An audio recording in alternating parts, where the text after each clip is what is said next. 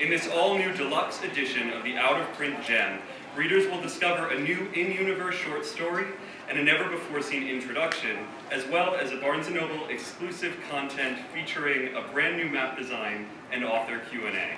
Joining conversation this evening with author and former president of the Science Fiction and Fantasy Writers of America, John Scalzi. Please join me in welcoming Victoria V.E. Schwab.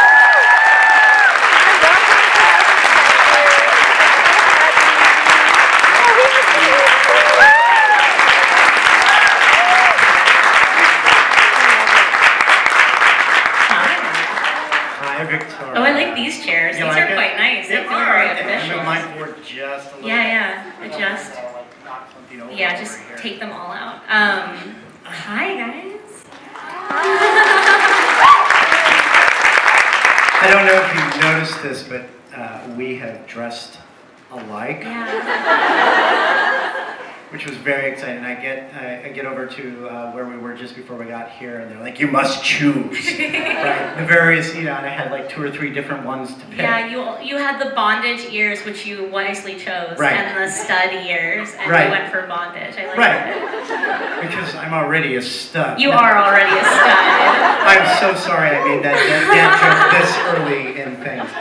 But just suit your face really thank you, I, and and yours as well. Thank you. Sparkly, Thank you just just the right way. It's not the only other thing that we have in common because we both also have Oh, we have our tour oh, I put rings. the wrong hand up. tour we have our rings. tour rings. These are our Wonder Twin powers activating here. Every time we meet in person, it's like a law of the universe that we have to do a little like fist click. bump. Yeah, Um, exactly. Bringing good science fiction fantasy to you one ring click at a time. Because in, in point of fact, at this point, we are the uh, only two We are the only two authors that have authors. the have the tour rings. Um, we got- kill anyone else who comes along. Right now, it's, it's, it's sort of there can be only two. Yeah. Sort of thing. And I remember when you got yours, you sent me a picture. I did. Like, just I felt know- very powerful because for a while you were the only one. You were was- you, you were the Highlander of it a Right, little bit. exactly. And I remember um, asking my editor, like, what's a girl gotta do, like, to get a ring? And they were like, well, if you earn a lot of money for Tor and you make us all very happy and you sell a lot of books, we will give you a ring. And then the moment I did my next deal with Tor for like Threads of Power, my, my next uh, series, Mm-hmm. the like I the very first thing I asked, like there was no congratulations email. There was like, no, I'm so excited. Like first email I sent was like, where's my ring? Where's- And they were like, they're like seriously, like everyone who works at Tor for like a year gets this ring, but it's so rare for the authors. Well, it's because authors are we're you know we're itinerant. We come and go, we Yeah. go as the publishers go. And the thing is, is that both of us have long-term deals with Tor. Uh, and I We're remember committed relationships. very committed. We are not quite monogamous with Tor, No. but you know, but they are It's our close. primary It's relationship. Uh, and I remember what happened with me was because I got that I got You that got you got a was it a 13 book 13 deal? book deal, 13 book deal. I mean, this is historic. Like a decade long, Yeah. 13 book deal. Yeah, and so uh, what happened was is that one of the editors came up to me and they said, normally we don't give them to the authors, but you're gonna be around a long time. You're stuck. Would you like the ring? And I got the ring, and my wife was, she's like, so you only wear two pieces of jewelry, your wedding ring and your wedding ring. It's accurate though. It's accurate. It's well, a commitment. and the same thing with you. yeah, You it was a commitment. I'm yeah. with Tor through like 2023 at this Right. point. And I, let's be honest, they're not going to get rid of me anytime soon because they can't. Because I'm just attached to them like a koala. like, love me.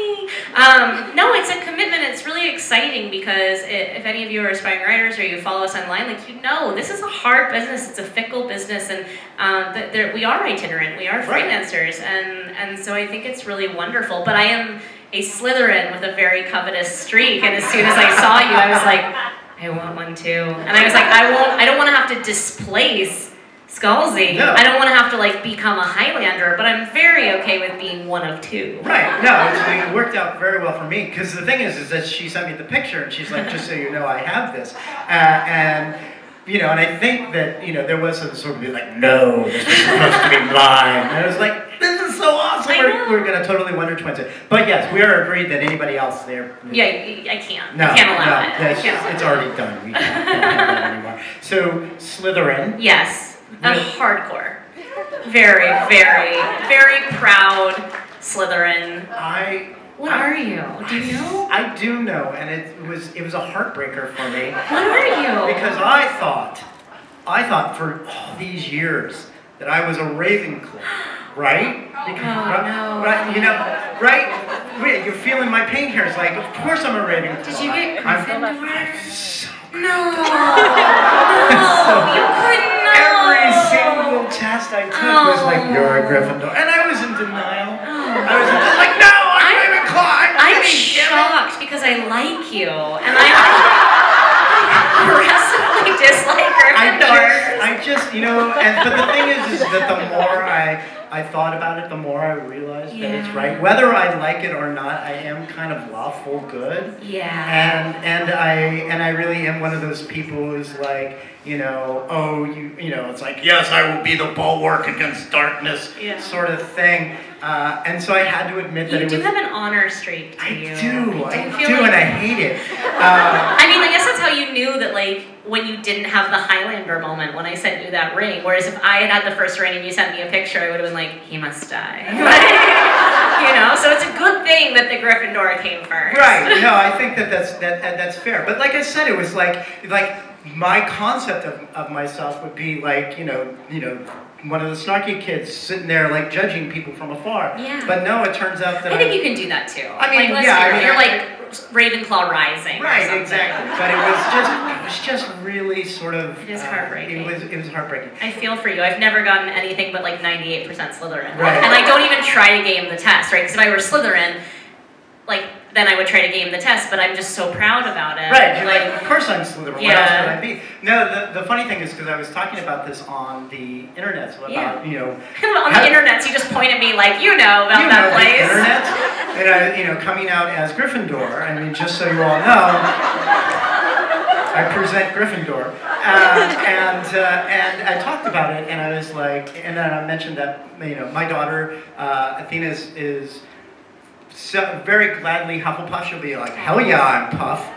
Once you go Puff, you can't get enough. Oh something like that. Uh, and then I mentioned and said also, Krissy, my wife, hardcore Slytherin because she is super intense, Yeah. she's super loyal, and if you cross someone she loves, she will find you and like the Terminator, she will rip out your heart. and that feel that. and, th- and that post was liked by J.K. Rowling. So, I- so I said to Krissy, I was like, "You are canonically Yeah.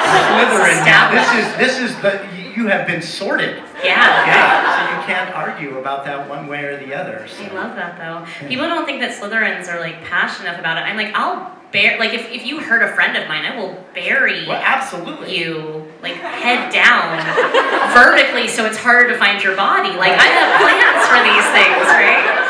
Have ideas, Yeah. but I, it's an intense loyalty streak. Oh, absolutely, and that's exactly the way Krissy is. And also the thing is, is if you ever cross a Slytherin, Oh, you- don't do you're it. doomed. Like this is how I know, like my marriage will be ended. Like one day I will drive up to the house, and there will be a line of Blausers, my wife's family, all with shovels. And as I am pulled from the car, the thought in my brain will be, I don't know what it was, but clearly I deserved this. Yeah.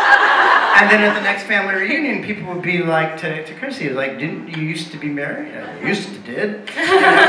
what happened to your husband? Couldn't say. Which is different from I don't know. Yeah. They all know what happened. They're just Careful about our wording, aren't we? So funny about that. Yeah.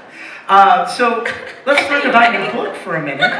Before Sure, we veer sure. off again on yeah. whatever it is that we this is why talked you about. Can't put the two of us together ever because I just It's fun. I know, Yes, I know. yes. We just can't be in real life. This is why we're allowed to exist on Twitter Well, no, but that's the whole. in But that's the whole point. right? It's just like because in real life, what are we doing? We're in a room Yeah. and we're typing. We're avoiding typing. One of those two things. Yeah. Uh, and we see humans.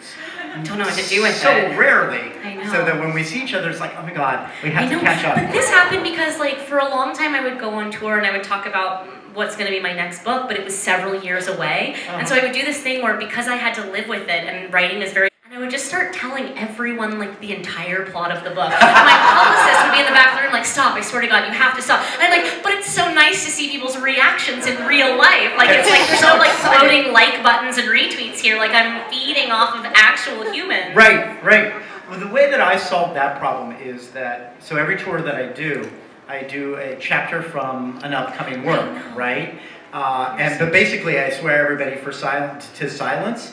Uh, and uh, basically, because I tell them, it's like you guys actually showed up in the room. Because you showed up in the room, you get this. Please don't share it with anyone else, but by all means, lord it over them. Yes. Right? And so after my event, I'll see all these tweets. It's like, Scalzi just read from the new book, and I can't tell you anything about it, but it's awesome. I'm glad that they respected that. Yeah, I well, feel like I'm not going to do that tonight, but that you would respect it if I did. Yeah. Well, and I think, well, and, and I think there's two things there. One, uh, if you trust people, they will generally return your Yes. trust. But the other thing is, they get it. I mean, most of you get it. It's like you showed up, you get something, you made the effort to be here on a school night. I know. But you know what's amazing? I always tell people this, like online, I'll be like, if you come to this event, I will tell you a secret. And then my internet just becomes a lot of people being like, I'm not coming, can you still tell me the secret? I'm like, perhaps No. you don't understand. the nature of my secret is you have to come. And they're like, it's not fair. And I'm like, I didn't say it would be. I was saying With membership comes privileges. Exactly, Absolutely. exactly. No, and that's the way that I always make, you know, that's always my argument. Is like, you came out, you Yeah. presented yourself, you get something, and people, well, you're not coming to my town. I'm like, Eh, there are cars. exactly. There are planes, there are boats, you know. if you were committed, Right, I've been to. Canada. They drive for like 10 hours. Come on. Exactly. They make the effort. I know. Though I live in the UK now, and in the UK, like they won't drive beyond like 45 minutes, and I'm like, your country's so small. Come on. It's the size of Ohio. I was like, in the states, people would drive for four hours to get somewhere. They're like, you could cover all of Scotland in four hours. Like, they're not gonna do it, right? It's just, ah, it's crazy. Anyway, So- we've gone off again. All right, so uh, the Near Witch. Yeah. So I read this on the plane Oh, here, goodness. and uh, I really liked it. And I hate the fact that you wrote it when you were 21, or it was published when you. No, were no, no. no. I wrote it when I was 20. Let's, Oh, let's not exaggerate. Oh, okay. Let's not I wrote it when I was 21. Um, I was second semester senior in college. It Yeah. wasn't my first book. Right. Like I, I had written a book when I was 19. Very first time I ever tried to write a book. It was genuinely atrocious. Right. As all first books should be. If anyone out there is writing a first book and you have the audacity for it to be good, just stop. Like don't talk to me right now. First books have to suck a bit. Like they're meant to. Did you publish your first book? Are you making that face? Good lord. Okay, for everyone in this room who's not John Scalzi, like first books are your learning to write a book. Right. And you did have a lot of craft experience outside of writing novels before. Oh, absolutely. I was a, I was a working journalist for a number of years and did a lot. And and but to your point, Yeah. and I agree with it 100%. The very first novel that you ever do, uh, just consider it your practice novel. The, Yeah. the task of that book is to write it and to finish it and then look at it and go, what was good about this experience? What was bad about this experience? What have I learned from this experience? Because It's a learning curve. Right. The execution of it is a learning curve, and you get exponentially better, hopefully, Yes. between the first book and the second because you're learning. So, my first book was a learning book. Right. But the problem was, I started from poetry, and so it was actually, it was a very pretty novel. Right. It was a pretty, plotless novel. So, it was pretty enough to get me my first agent. sure. But thank God it was plotless enough to not sell in retrospect. And so I came to a kind of a crisis of faith at, at the ripe old age of 21 because I was second semester senior. That first book had gone on to publishers. It had gone to acquisitions, which is like the highest point before a book gets bought, four Right. times. It was exhausting, and I hit a point of like, okay, I remember clear as day, a, a day in February, a crossroads of I can either sit down and try again, Mhm. or I can go on with my life. And Right. maybe 10, 15, 20 years from now, I circle back around to this dream that I had. Right. And I was very stubborn and very ambitious, and I thought, I'm not gonna let that first book be a fluke. It's gonna hang over me. And so I checked out from my art studio space for two hours every single night for the entire semester Sure. and wrote The Near Witch. And some nights I would write 500 words, and some nights I would write 2,000 words. But I, I did this thing, which I feel like you're trained to do because you come from journalism. You treat it like a job before it pays you like a job. Yeah. So I decided to treat writing like a job. Sure. um, I carved out the time for it, and when I graduated, I had the first draft of the Near Witch. Right. And very much the same sort of thing for me, which was uh, having had the experience of journalism, uh, where you always had a deadline and everything had to be in by 3 p.m. on Wednesday, come hell or high water. Uh, that uh, I had the experience of being able to just sit down and by muscle memory uh, just get something out. It didn't mean that it was necessarily good. It just meant that Do a discipline. yeah, you had the discipline to, to I had the discipline to sit there and do that. But like I said, so the very first book, I had absolutely no intention for that first book to sell it. You were just so good. How does it feel to have been so good with your first novel? I'm not gonna lie. it feels kinda great. um, but it, it, ironically, the first book sold after the second book sold because Yeah. the second book was Old Man's War. It was the one where So I had the had the um, experience and was able to go. What was okay. the first book? The first book was Agent to the Stars. No way. Yeah. Um, and Publishing's weird, man. Yeah, it really is. uh, but so, but the thing for me though was like the whole reason that I wrote the first one Yeah. um, was I was be- I was 28. I was about to go back to my 10th high school reunion, and I was that kid who had written stuff in high school, and I knew people were going to go. So, have you written the novel yet? No. Oh. Well. So, Pride is a motivator. Right, isn't no, exactly. It's just sort of like, so you're like, yeah, I did write the novel as a matter of fact. Yeah. Um, and so I did. That's exactly that's exactly what I did. Um, but I knew that even as I was writing, I was like, I- I'm not going to sell this. I want to do it just to see what the experience was. Exactly. And because I had that experience, when it was time for the next one, Yeah. like you said with this one, um, what you had and what you learned uh, just came in and was incorporated, Yeah. and then you can move forward. And the education of writing like I, there are a lot of different ways you can you can grow as a writer but to be honest like the two for me to this day the two most important ways that i grow from book to book are in extremely diverse reading making sure that i have creative Yes. cross pollination by reading Yes. things i know i will like and everything i don't know and and in very many industries genres all of those and write like you have to write something so you can make it better. You have to learn your craft and your voice through the execution of your craft and your voice. You have to write a lot of things which miss the mark, a lot Yes. of bad iterations of yourself. Like your voice is a thing which is constantly evolving and growing, mm-hmm. and that grows with each book. And I think you can see the seeds of the writer that I would become in the Near Witch, Yeah. but they clearly hadn't they hadn't all found their their state yet. I think one of the things that I always tell people is like first books are like um, like first albums. Yeah. Um, in that in the first album of whomever it is that you of your favorite band, they're basically somebody else's cover band at that point, right? They have such the influence of whatever music it was that they loved coming in that you can generally track who it was that they loved. And then two or three albums later, they're like, I'm done with that. I've, I've created my own voice and I want to be able to express it. And I found that very much the case with my own published books. I mean, my very first, the very first published book was basically, it's literally is Starship Troopers with old people. Yeah. I mean, that's, that's what it is. That's why I put Heinlein in the acknowledgments. But 10 years later, Heinlein wouldn't have written Redshirts, probably wouldn't have written The Collapsing Empire, you know, definitely wouldn't have written Zoe's Tale.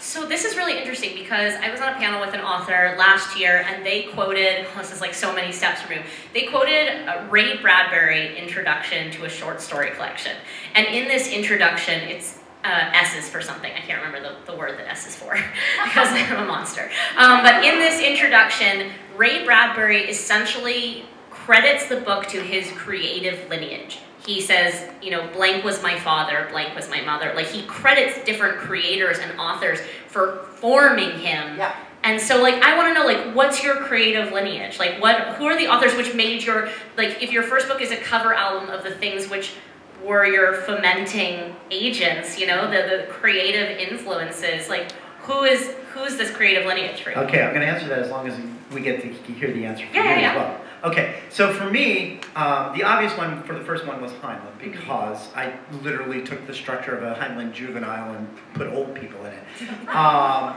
but the other thing is, is I tell people, I and you made a very cogent point, which is reading widely. Yeah. Uh, that so much of where of, of my formative writers are completely outside of the genre of science fiction and fantasy entirely. For example, um, humorists Um, you know, Elaine May, Robert Benchley, Dorothy Parker, uh, even Mark Twain, the way that they did humor and the way that they did dialogue and the snappy back and forth. I was hugely influenced by dialogue that I uh, heard in films. I was a professional film critic.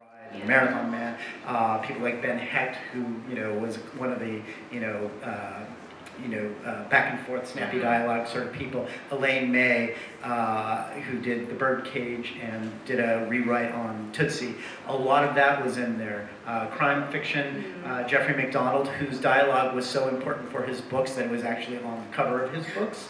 Um, columnists like uh, Mike Royko, um, and oh, I'm blanking on her name, uh, she, from Texas, and I can't remember her name right. Texas is a big state. Texas is a big state. It'll, it'll come. Molly Ivins uh, and uh, even Dave Barry. Yeah. A lot of these people had nothing to do with science fiction and fantasy, but it's one of the reasons why I think my science and fiction uh, benefited from Yeah. it because it's uh, hybrid vigor, to use a biological term, stuff Yeah. that people hadn't seen, even as I was advancing tropes that they had definitely seen before.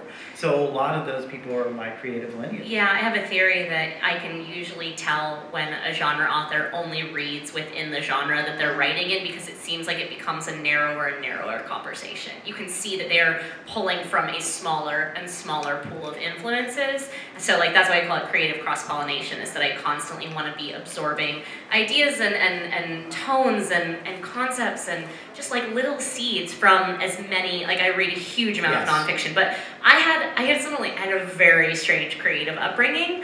Uh, I look back on it and like I was Roald Dahl and Shel Silverstein. Like I had this very dark. I also grew up on like Baudelaire and William Blake, right? So I had a very strange, morbid, apocalyptic poetry bent. Um, T.H. White, the Once and Future King, was hugely, hugely influential to me. Uh, Neil Gaiman, obviously, hugely influential to me. But and this is like my very, I know it's a little twee, but I have to say, so so I was not a huge reader. I was an athlete. I spent very little time. Like I did not grow up in a library ensconced in books. I wish I had. It's a wonderful, wonderful image that I wish I could co-opt, but I can't. But what I will say is, I was a, I was a very competent reader. Like I could read, but I was that child who was convinced that like if my word, if my eyes touched every word, then I had read it. Like I wanted to be taken seriously so badly that I was like, my eyes are reading these words. Like nothing went in, right? but so I was 11. And um, I was not, I had not really found my reading. I did Boxcar Children, and that was really the only thing I was consuming. That and Robert Ludlum. Again, very strange creative upbringing. And then, um, and some of you might have heard me say this before, my mom, one of my mom's close friends called, and she said, hey, I, I live in California time. I'm in a bookstore in Southern California, and there's a woman here signing books for what look like your daughter's age. Like, would you like me to pick one up for you? My mom goes, oh, my, my daughter's not really a big reader, but uh, sure, like go ahead and get one signed for her. You know, it, it'll make a nice present. And the next week, this book arrives in our house for me, really kind of a non-reader, and it was a signed copy of Harry Potter and the Sorcerer's Stone. Yes, and so I had this immense generational privilege of being 11 when the first Harry Potter book came out, right? Right. This like very specific time where I had one the first experience ever of forgetting that I was reading. Like that was the first book that made me forget that I had words on a page. It was the first book I saw past it and the movies began playing in my head.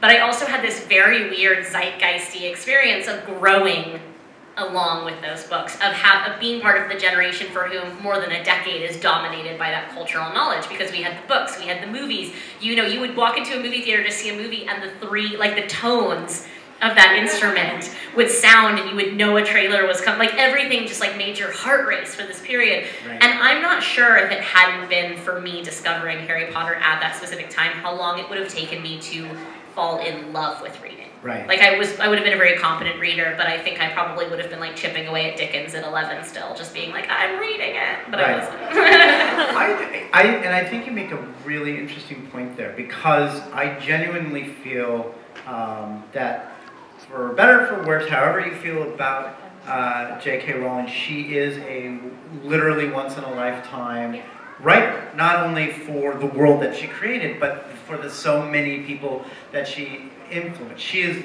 she is literally the Beatles. She is literally Picasso, if you want to, you know, or uh, Georgia O'Keeffe, Yeah. you know, or Frida Kahlo. She just is is She was a movement. yeah, she was she's gravity, Yeah. right, for an entire generation of people. And and one, it's it is exciting because I was I, I'm I'm uh, older Tiny than you, just, just a smidgen. So I I aged I was Yeah. above the age that um, that those affected me, but you could see just how much it was influencing people, and the fact that people are coming out of that um, and creating stuff is is you know we live we live in J.K. Rowling's Well- world. We just did 20 minutes on, on which house we were. I know. Well, okay, here's the thing though. So Slytherin me, I have this extraordinary, so I have a terrible memory. I spent so long living in like fictional headspaces of my own making that most of my childhood is a little bit blurry. Uh, and I'm an only child, and I think that also happens because we create memory in relation to other people, like siblings, and when you don't have siblings, you have less things for the memories to stick to. Totally different conversation. Point being, I have this very, very precise memory. I must have been 16, and I'm walking through a park in Nashville where I lived at the time, and on a bench are two, I, it was right by Vanderbilt, which is a university, and on the bench are two very clearly Vanderbilt professors, right? One's probably in their 40s or 50s, the other one's in their late 60s or 70s, having an intense theological discussion about Harry Potter. and this was right after maybe the fourth book had come out, and Slytherin me looked at this, I was just starting to find my voice writing, and thought, I want to do that. I want to do something that is powerful enough that it makes people out of the intended audience, whatever that is, have an in depth conversation about that. Like, I don't know what it was about that moment that I felt such potential for power. And it should be said that, like, this is a similar me. It should be said that my mother had a prophecy read over me before I was born, which is just a very my mother thing. Um, and the thing is, I wasn't allowed to see the prophecy until I was 18, and the only relevant thing about this whole prophecy is that it said that I would either be a writer or a cult leader, right? but the thing I take away about this is the power of words. Yes, That they put those two things side by side is this idea, and I remember now fusing that piece of information with watching that moment in that park of this this power that those stories held over an audience to engage in that kind of conversation extra canonically or extra textually. I thought to myself at 16, like, I want that power. The funny thing is, Victoria, have you met your fans? I feel like it's it's it's I've, I found a natural way, right? Right. Like I just like next time I do an event, I just want to see like more and more cat ears. Like they're just gonna start like popping up throughout Right. the audience, right? Right. They just look so good on you. I think we're gonna start a movement. There you go. Yeah. Um, you you all have your marching orders. Yes, go find yourself a pair of cat ears. I can't even tell you where they come from because people these are only ones that people have given me, so I've never actually found my own. Like literally, like I said, literally, she's like, now you must choose. And Now I'm like, you "All right." choose. Yeah, and I, I texted my wife, and Yeah. she said two things. One, hot. Always a great thing you want to hear from your wife, and two, she's like, where did you get that? And I was like, I don't know. They're I think, I think those might belong to you now. I think the ears have chosen you. But I just like I get very caught up in the power of words and the power of language. And I, I think not just because I'm a Slytherin, but it, it's something that goes back to my poetry days. And, and it's something which has infused a lot of my books, especially Near Witch as an early work, is the idea of almost the witchcraft of cadence. Yes. The idea of being drawn into a spell with words, of entering a place where you feel like in a slightly different headspace, where you feel like a slight intoxication by the syllables of the words. You know, that, I love that. No, it's a great thing. We need to go into questions Yeah. now. Okay, So- we're gonna, we're just gonna do We- a few of them, but if we don't do your question, questions are things which you can ask when you come up and just chat with us as well, Right. right? So you guys had uh, written down questions on Yeah, index cards, and so uh, now we're going to read them. So Okay, I want to hear your definition of this first, because this is about how do we define hero and villain? hero and villain. Hero and villain get defined. Yeah, I want to be the villain. Unless you're in my books, and then Yeah. they're like, yeah, sure. Right. You yeah you break the curve. Uh, Yeah. but in uh, in- but in in most works, I think most people honestly believe in what they're doing, or at least believe you know Yeah. that they have cause to do things, uh, and they feel they are doing uh, the right thing. Everyone really does tend to be um, the hero of their own uh, of their own story. Even the people who are like, yeah, I'm going to be evil, uh, usually have a reason to do They it. have a motive. And they have a motive, and they believe that they are righteous for Yeah. it. So a lot of just you know, it's the history of people and whether they are heroes or villains tends to be written by um, victors and outsiders. Um, and so for me, that's that's what it is. I do think individually speaking, people need to. I mean, uh, a lot of what makes a hero for me is someone who does the hard thing that is right, um, as opposed to the easy thing that might turn out okay. Um, and that's what makes a hero that you actually stand up for what you believe for, even if it costs you. But again, everybody thinks they're doing that. Yeah, it really fascinates me because in Vicious, Victor finds out that he's the villain in everyone else's eyes because the person that he's hunting has been labeled by society a hero. And so he he talks about this arbitrariness of title. Like the art like what does it matter?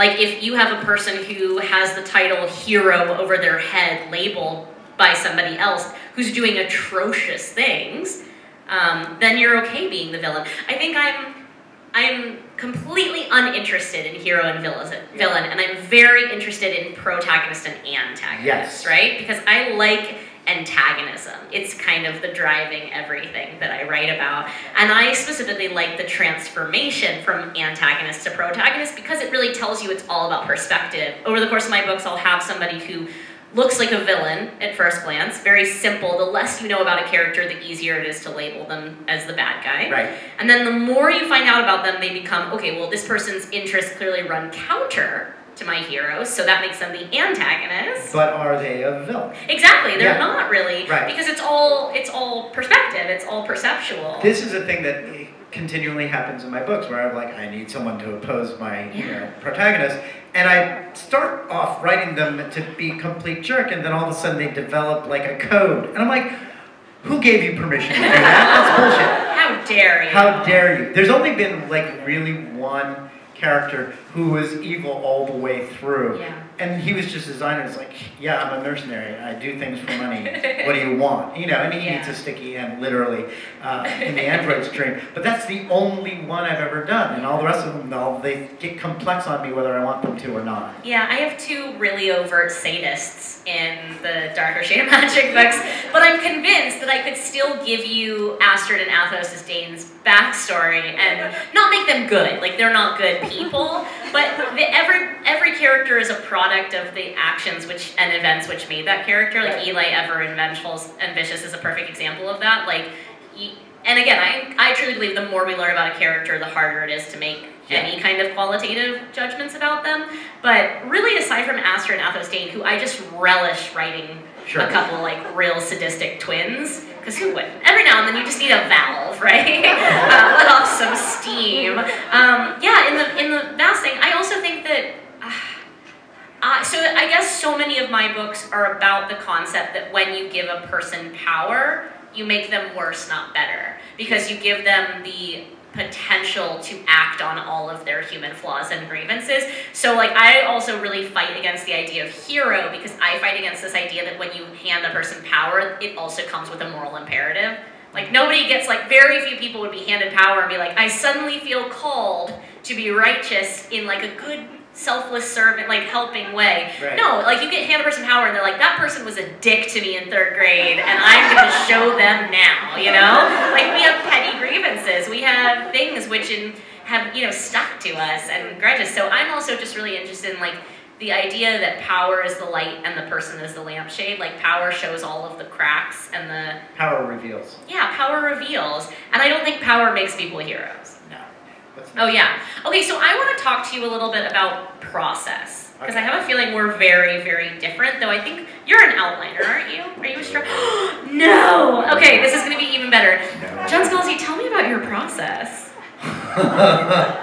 uh, I sit down and I find out what happened. No, you Yeah. do not. I totally do. Did you just make shit up when you sold all those books? You're like, I know what happens in this book, and it was just a lie. It was all a lie. There's a lot of tour people here tonight. Make sure you say it nice and loud. Dear tour people. You just, do you not know the endings or anything? No, I will often know what the ending is, but I don't know how to get there, or I know where I want it to go. But no, the thing is, so like when I did this 13 book deal, I didn't intend to do a 13 book deal. Oh, I thought yeah. they were going to be like, they would be up by like three or five or something like that. So, but I went in because I overprepared. Yeah, yeah. Uh, and uh, then they took them all, and I'm like, Oh no, I made all those up. now I'm going to have to actually figure out what all these books are about. Um, and this actually happened. So, like, like the Interdependency series, which is the series that I'm doing now, Collapsing Empire, Consuming Fire, um, and the next book, which is The Last Emperor, which is being written now, I swear. It is like right now, just Right as now, you're working. I'm going to go back to the hotel and write. Yes, Yes. I am. Uh, it was originally supposed to be a two-book series, and one part of the one part was going to cover the entire collapse. It's not a spoiler to call, to let you know the empire does collapse. It's really in the title. Um, so the first book was going to be the empire collapsing, and then the second book was going to happen five thousand years later, Oh, or something like that. Uh, and then I started writing. I'm like, now I'm going to need at least one more book. And then I wrote the second book. I was like, definitely going to need another book. Uh, and it's going to end on this book. Isn't it? It, it Are really you is. positive? No, but uh, but uh, but so that it sort of expanded. But so all of these things, I have an idea of how they're the the concept of them, which is basically what I Yeah. sold. Um, but uh, I write the book to find out what happens. Oh God, I'm so jealous. I'm a, I'm a. This was a question was about writing out of order because I I am a compulsive outliner who then executes out of order. So essentially, I write myself a detailed roadmap. I do think that it's key that you do know your ending or you have some idea of it because I actually think this is really key for not quitting because it turns an infinite amount of space into a finite amount of space. Like you now know if you have an idea of your ending that there's a finite finite amount of space between you and that end. Right. So it becomes like crossing a field instead of a desert. Like you can see something on the other side. But I outline. The more books I write, the more neurotic I get about outlining. And I do this because I then, so I like, say I make a detailed outline, but I will then cherry pick whatever scene I feel like writing that day, and then I will write that scene out of order. But when I say I write it out of order, what I actually mean, like, I think you think I mean, like that, like uh, Ron Swanson moment where he's like, I think you think I said a lot of bacon, but what I really said was give me all your bacon. That was a niche reference. But um, I I write every sentence in my chapter out of order. Like I will literally dump sentences onto the page like a puzzle with all of the pieces being dumped out, and then I begin assembling them. Like lines of dialogue, pieces of description, moments in the story. Like it just comes together like a weird amorphous cloud, like a star explosion in reverse. I get. I'm getting right? It's dizzying. exhausted. It's dizzying. And then it's like it's like you're holding a lot of it in your head. Now the only exception, the only exception to this is that uh, the Steel Prince, this comic, is I know I like really shouldn't admit to this. So I'm writing Conjuring of Light, and I know I'm gonna reference that like Maxim Maresh, the king of Red London, shocker, like had a life before his children. Like this whole series, you've been taught to only think of him as like Kell's adopted father, Rhy's parent, largely antagonist. You find out in like one paragraph in book three that he had like a complete life before and that he had this mythic reputation as the Steel Prince. And as I'm writing the scene, I'm like, okay, I just need three things that sound really cool. Like I'm never gonna write them. Right. So I'm just gonna make three sentences. They can be nonsense, garbled, junk, but it has to sound cool, right? And I'm like, oh, you know, the Steel Prince who, you know, defeated the Pirate Queen, the Steel Prince who survived the Night of Knives, and the Steel Prince who tore the heart from the rebel army, right? And I'm like, well, I'm never gonna touch those again. So at least they sound cool, right? And then, I know where this is going. and then Titan was like, hey, do you want to write a comic about those three things that you said? And I'm like, okay, the first one defeated the Pirate Queen. Like that one, I can figure that out, right? And then I get to the second one that I clearly chose for syllabolic rhythm alone. The like the Steel Prince who survived the Night of Knives. And I'm sitting there staring at it going, what the hell is that? Like, like what is that? And so I took like a month to be like, what could, and like also, what could the Night of Knives be that you couldn't tell in a single page of a comic, right? It's four issues. It can't just be like the night. Like, what is the Night of Knives? So it's the only time it's really bitten me for making something up on the spot and then having to expand it. Okay, so you and I have talked very, very collaborative. Yeah, I know I'm gonna make him one day. And, and, and the thing about it is, We've got such incompatible styles. I mean, I'm not opposed to No, the I think idea of the collaboration, but I don't, I'll be like, here's a chapter, and you're like, great, I'll be cutting it up later tonight. All right, no. we, we have space for two more questions. I've been told. Okay, so okay, let's okay. go through them very quickly. Um. Okay, let's take the hardest question that ever gets asked. What is your one favorite book ever? oh man. Yeah. Um, I'm gonna give two, one fiction and one non. -Fiction. Do it. Do it. So my favorite fiction book is Winter's Tale by Mark Helprin, which uh, doesn't hold together as a story, but on a sentence level, It's just so pretty. And- and Yeah. It took me like 10 times to actually finish the book because I would get halfway through the book and I would know that I had less than half the book to read and I would just stop Yeah. because then I knew it would end. Um, and then I finally finished it and it was like the story, like I said, the story kind of ends in a, uh, okay, but every sentence is brilliant. Really? And then nonfiction, um, it's the People's Almanac, uh, which was came out in like 1976. I was like six years old when it came out, and I thought that it literally had all human knowledge in it. and I read it cover to cover, which was really, which was That's great, ambitious. great in one way and bad in another because I read so much stuff that I had absolutely no context for. Like there was a small dictionary of sex and sex-related terms, so I was the only six-year-old that I knew was like, oh, I know what a clitoris is. I have no idea what it's for. I know what know it the word. Yes, exactly. Oh. So that's mine. I um. This is hard. Uh, I would say for nonfiction, I read a ton of nonfiction because when I'm writing fantasy, I can't really read Right, fantasy. So thing. I'm I'm writing always something. So I have to pick my reading list to not intersect because again, when you write stories completely out of order, it's like really hard to keep that narrative and somebody else's narrative separate, and like it gets very very jumbled, and then I don't sleep. Um, there's a nonfiction book that I just want everybody to read, and I don't know if I just found it at the exact right time in my life because I know that happens sometimes with memoir. It's a book called Lab Girl by Hope Jahren. Lab Girl is, in a lot of ways, a book about a scientist. It's a memoir set um, about a scientist and has a lot of really beautiful, like, nature information. But on another way, it's a book as an examination of mental health and identity and being lost and, like, trying to find yourself in relation to the universe. Uh, it is stunning. It was the kind of book where I read it so slowly because I was very sad at the concept of running out of pages. I'm the same way with like Jenny Lawson. Like you read those Yeah. essays very slowly because you're like, I don't, I'm not ready to run out of these again. Like I don't want to do that. Um, picking like a favorite novel of all time is not going to happen. So instead, I'm going to pick one that I love from recently that I think you guys would love as well. Um, I am a really big secret history fan, and in a lot of ways, this book is like a love letter to the secret history, but with but it's darker, and I kind of like it a little bit more. Um, and it's called "If We Were Villains" Yes. by M.L. Rio. This is like a, a love letter to secret history set at a Shakespearean conservatory, and it is like all of my kinks in one book. It is like beautiful writing on a sentence level. It is it is sexy, it is indulgent, it is dark. So I think that book came out a couple years ago and it's a book that I'm just kind of like I think it has very broad appeal. Last question. Ugh.